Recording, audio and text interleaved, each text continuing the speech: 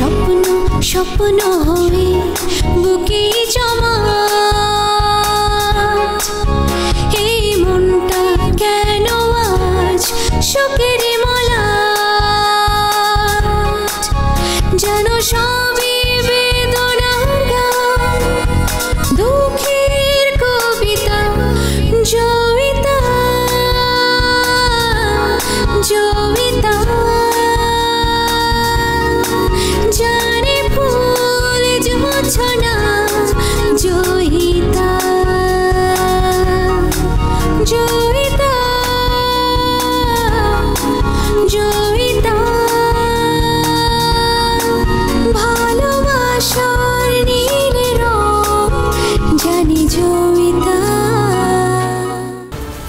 আপনি তো আমার কাছ থেকে সব কথাই শুনলেন। আপনি আবার এসব কথা কারও কয়ে দেবেন না তো। মানে আমি এসব কথা কইছি, এটা শুনলি পারে আমার? না না, আপনি কোনো টেনশন করবেন না। আপনি ভয় পাবেন না। আমি কাউকে কিছু বলব না। আপনি যা যা বলবেন, তা আমি আগের থেকেই সব কিছুই জানি।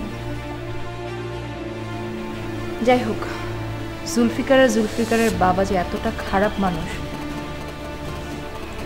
সেটা আপনার মুখ থেকে শুনে নিশ্চিত হলাম। আন্টি আপনি এসব কথা শুনি আবার বললাম তো আপনি একদম চিন্তা করবেন না। আপনার দায়িত্ব আমি নিয়েছি তো। আর এই ঘটনাগুলো আমি আমার বন্ধু রূপকথা আর তার বন্ধু সাংবাদিক অনুপম ভাইয়ের কাছ থেকে আমি শুনেছি। আমি এসব আগে থেকে জানি। আন্টি আপনারা কি জুলফিকার ভাই আর খালুজান রে পুলিশে ধরা দেবেন? এখনও কিছু জানি না কি করব। তবে জয়িতাকে আমি হেল্প করব এটা আমি জানি। জয়িতার কোনো দোষ নেই। অথচ জুলফিকার আর জুলফিকার বাবার জন্য ও সবসময় আতঙ্কে থাকে। আমি নিশ্চয়ই ওকে হেল্প করব। কি করে হেল্প করবেন?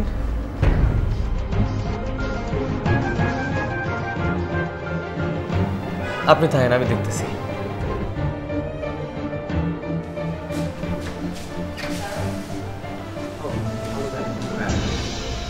কি অবস্থা? সুন্দরী শালিকা এই যে শেভ করে আলাম।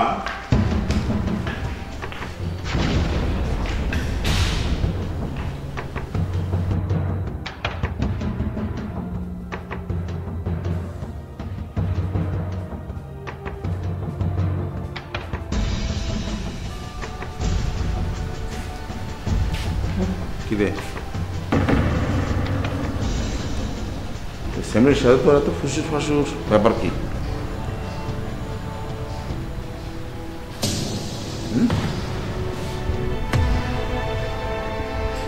প্রেমে টেমে পড়ে গেলে নাকি? সিসি খালুজান সে তো আমার সম্পর্কে আন্টি লাগে। পাতানো আন্টির সাথে প্রেম করা যায়।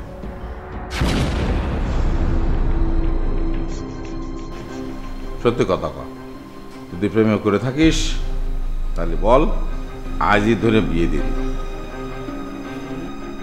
না না সেরকম কিছু না। তাহলে এত ফিস ফাঁস কিসির? কোনো ফিস পাস না খালুজান। এমনি একটু কথা করছিলাম।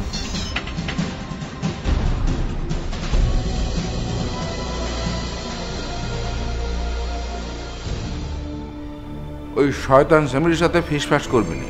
ও আমাকে ভালো চায় না।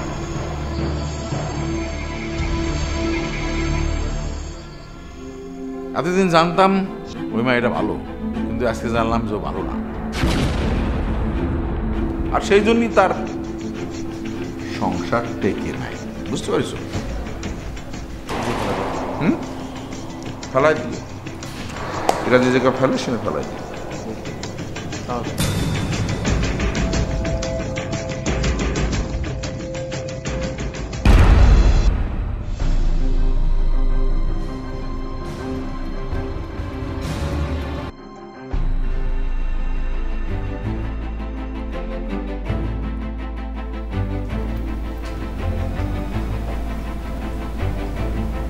এই মেয়েটাই কি আমাদের জয়িতা অনুপম?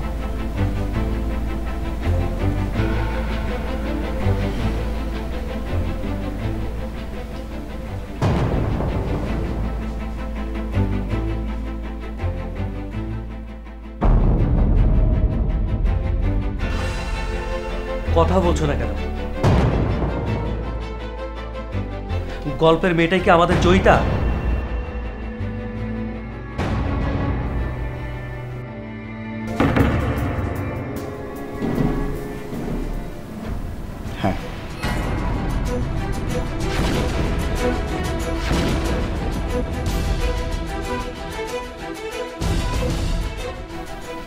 গল্পের মেয়েটাই জয়িতা। আর মাস্তানটা? জুলফিকার। ও মাই গড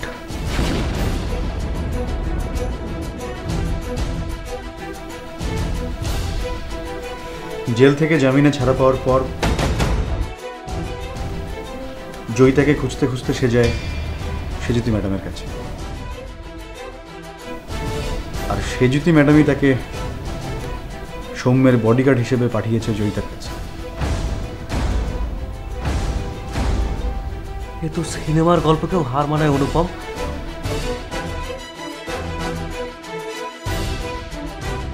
তুমি যে গল্প বললে এতক্ষণ এর কি সবই সত্যি?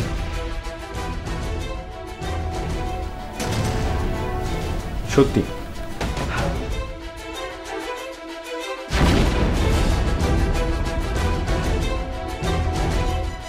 তুমি তুমি আমাকে বিশ্বাস করো। আমি আমি আসলে লোভে পড়ে সেজুতি ম্যাডামের অ্যাসাইনমেন্ট নিয়ে রাজবাড়িতে গিয়েছিলাম। জয়িতার অতীত জীবনের খবরে খবর নিতে কিন্তু কিন্তু আমি রাজবাড়িতে গিয়ে যখন এই সমস্ত কিছু জেনেছি, আমি আমি সেজুতি ম্যাডামকে আর কিছুই জানাইনি। কারণ কারণ আমি জানি উনি এগুলো জানলে যেটা করবে, থাক। থাক অনুপম, আমাকে আর এসব বলতে হবে না।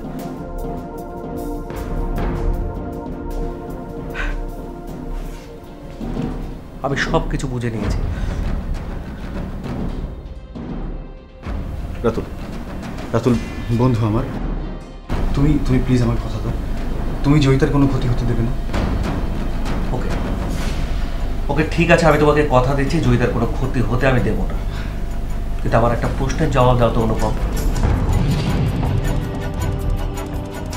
জয়িতার প্রতি তোমার এত টান কেন?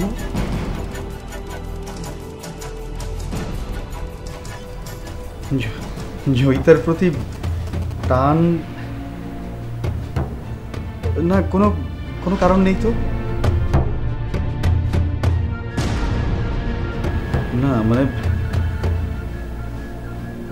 আছে কারণ, আছে মানে মানে কি ব্যাপার? এত মানে মানে করছ কেন?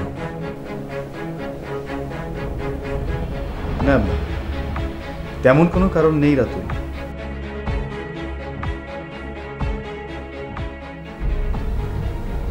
আমি যখন রাজবাড়িতে যাই, এই সমস্ত ইনফরমেশন শুনি, আমি জয়িতাকে চিনতাম না। আমি এখনও জয়িতাকে চিনি না, কোনোদিন দেখিও নি। শুধু এটুকু জানি যে ও তোমার ছোট ভাই সৌম্যর ওয়াইফ জয়িতার জীবনের এই দুর্বিষহ ঘটনাগুলো শুনে আমি একা একা খুব কেঁদেছিলাম। এবং মনে মনে সিদ্ধান্ত নিয়েছিলাম। যদি কোনো দিন জয়িতাকে সাহায্য করার একটা স্কোপ পাই, তাহলে করব।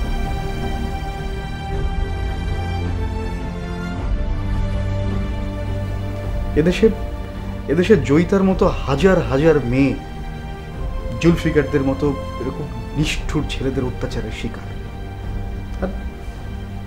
আমি যদি একজনকেও সাহায্য করতে পারি, সেটাই বা কম কিসে? বুঝেছি। বুঝেছি আমি, অনুপম। তুমি আজ আমাকে এমন এক সত্যের সামনে দাঁড় করালে, সেটা মোকাবেলা করার শক্তি বা সাহস আমার আছে কিনা জানি না।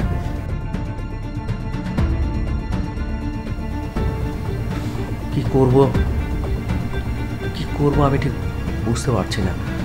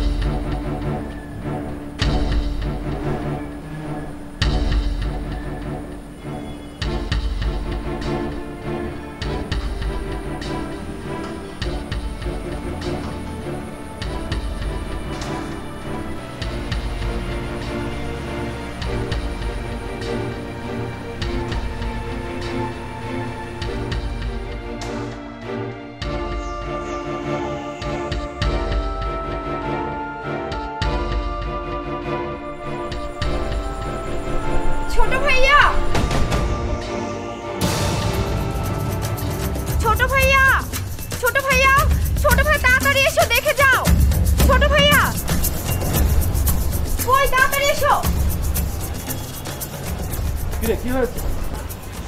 ছোট ভাইয়া মামুনি আবার এই খুনিটাকে বাসায় নিয়ে এসেছে।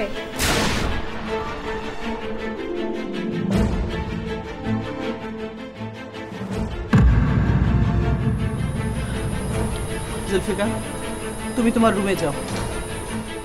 তোমার কোনো কিছু দরকার হলে বুয়াকে বলবে ঠিক আছে? যাও তোমার রুমে যাও।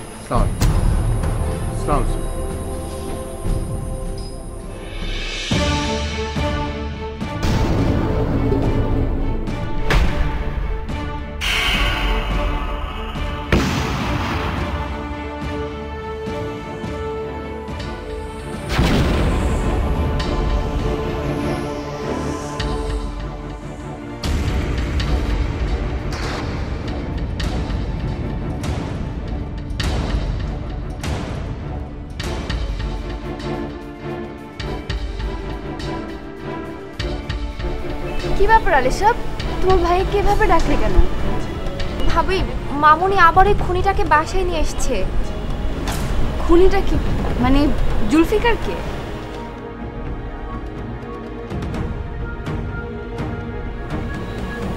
সৌম্য? সত্যি?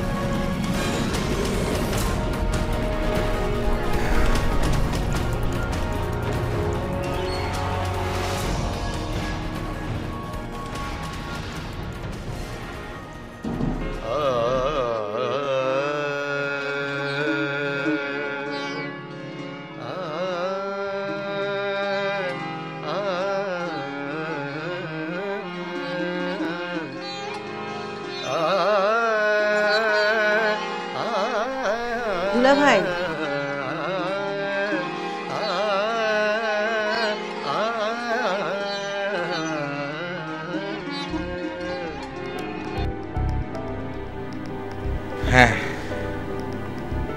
মনে হচ্ছে খুব আনন্দে আছেন? ব্যাপারটা কি দুলা ভাই? হুম? কোনো ঘটনা না। শালিকা তুমি ভুল বুঝেছ। আমি আজকে খুব খারাপ আছি খুব খুব খুব। কেন দুলা ভাই? আপনি খারাপ আছেন কেন? আর যদি খারাপই থাকবেন? তাহলে এত আনন্দ করছেন কীভাবে? এই যে এই যে মনে করো যে আমি খারাপ আছি টেনশনে আছি আমার মন খারাপ মিজাজ খারাপ। এইসব ভুলতে হবে সেজন্য আমি গান শুনতেছি আর মদ খাচ্ছি বুঝতে পারিস আচ্ছা বলেন তো এবার আপনি কেন খারাপ আছেন? আর টেনশনই বা কিসের? ওইসব আর তোমার এখন শোনার দরকার নেই। আমার আপন শালিকা, তার চেয়ে তুমি বরঞ্চ তোমার পাশে আমার বসার একটু অনুমতি দাও। তোমার পাশে আমি একটু ঘনিষ্ঠভাবে বসলি, একটু মাথা রেখে বসলি। আমার এই দুঃখ, কষ্ট বা এই টেনশন খারাপ থাকা কাটে যাবে। বুঝতে পেরেছ? আমি আসি হ্যাঁ? তোমার পাশে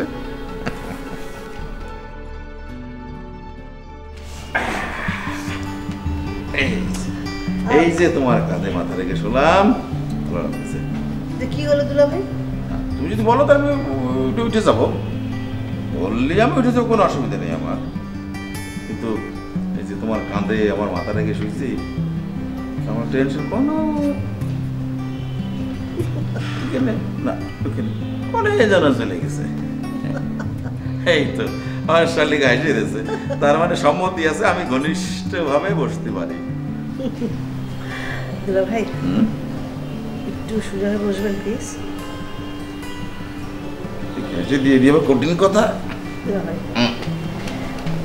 না বলছিলাম কি সে কখন থেকে আপনি আমাকে আপন শালিকে আপন শালিকে বলে যাচ্ছেন? কারণটা কি জানতে পারি? এক বিরাট ইতিহাস। সেটা না তোমার আমি আজকে নাই বললাম।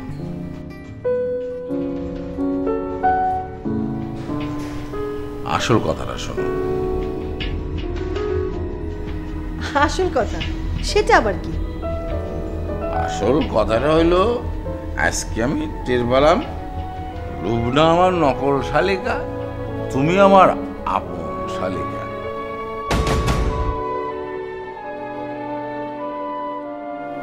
বুঝতে পেরেছ? হ্যাঁ বুঝতে পেরেছি। কিন্তু আজ হঠাৎ আবার আপন আর নকল খুঁজে বের করছেন কেন? বললাম না ওটা বিরাট ইতিহাস সেটা তোমার শুনে কাজ নেই। তবে এইটাই আমি বুঝে গেছি যে লুবনা আমার নকল শালিকা তুমি আমার আপন।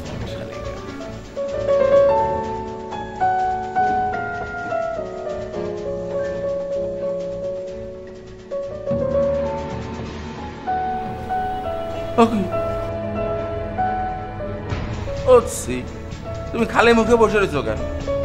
গিলাস নাও। না দুলা ভাই খাব না। আজ থাক। আপনি সন্ধ্যে থেকে কেমন যেন আওলা ঝালা হয়ে আছেন।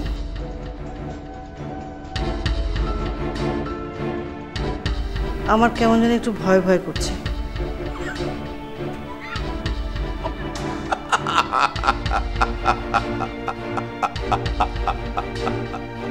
আমার তোমার ভয় করতে